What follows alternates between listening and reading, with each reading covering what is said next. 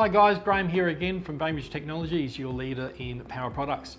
Um, today I'd just like to quickly uh, touch on, from my last video, we're mentioning about converting um, amps uh, or watts to amps or inverter size to, to amps and their current draw. Today I'd like to work out, tell you work out how to know what size inverter you need to utilize. So basically that comes down to working out the amount of watts you have in total uh, in 240 volt appliances. So if you take, um, say, anything with a heating element in it, for instance, they generally need a lot of um, a lot of power um, just to get that intense heat up in short periods of time. That's the way the heating elements work.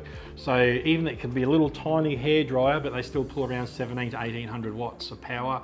Your convection cooktops are generally around 2000 to 2200 watts of power. Uh, air fryers can be anywhere from 1600 to 2000 watts as well. So that's getting up there, which means that you basically would need at least a 2000 watt inverter to run any one of those appliances. Now, to convert that back to amps, um, which then uh, is the amount of current that you would need to flow from a battery to sustain that power for any period of time.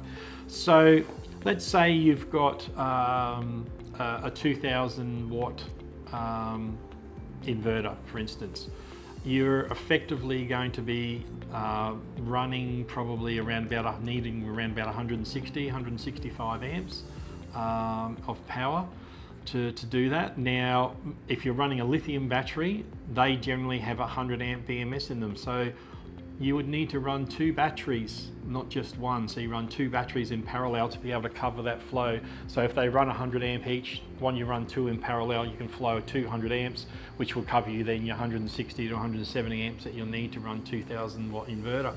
So you've really got to work out and, and really sort of justify whether it's worth having those home luxury uh, appliances while you're camping. You know, like sometimes just flicking the the Weber on or uh, clicking that uh, gas cooker um, for a little bit is a little bit easier or get back to the old days of just cooking over the old campfire. That's the beauty of going camping. Um, but if you do need it, then maybe those appliances are best kept for when you're in a caravan and you're plugged into 240 volt. Because um, as I said, you can get appliances to run them, not a problem at all. So you can get a 2000 watt inverter, no worries. Um, but as I said, if you're running uh, a 2000 watt inverter drawing 160 to 170 amps and you've only got you've got a 200 amp hour um, battery or 200 amp hour lithium battery which is a very large battery.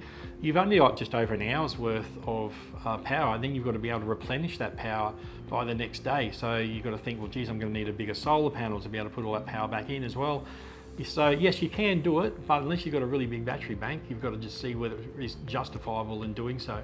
Um, but yeah, quite easily, as I said, work out, just total up all your appliances that you want to run at, at the one time.